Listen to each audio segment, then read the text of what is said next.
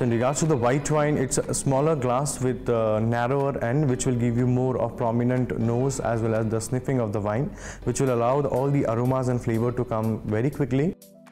In regards to the red wine, usually bigger and bulgier glasses are preferred.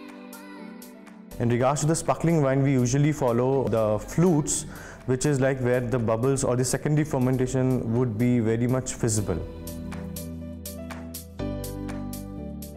Serving temperature and the storing temperature are different. The serving temperature for the whites usually would be 6 to 8 degrees. In regards to the sparkling wine, it is almost like 6 what we look into. In regards to red, it would be room temperature, but provided it's like 16 to 18.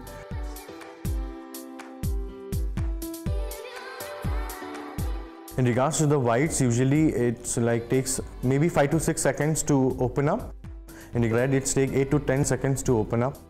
In regards to the sparkling, once you pour in your glass, it is almost ready for drinking.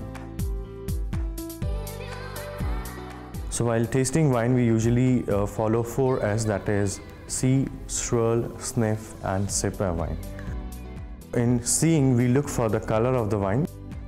Swirling, we allow the oxygen to enter inside and slowly all the aromas and bouquets and flowers would come out. And in sniffing, all the vegetal characters or more of aromas in regards to the barrel, in regards to the fruit, everything would come out. And next you sip the wine, the entire palate of your mouth will get coated with all the tannins and all the aromas and flavors which will come inside the wine.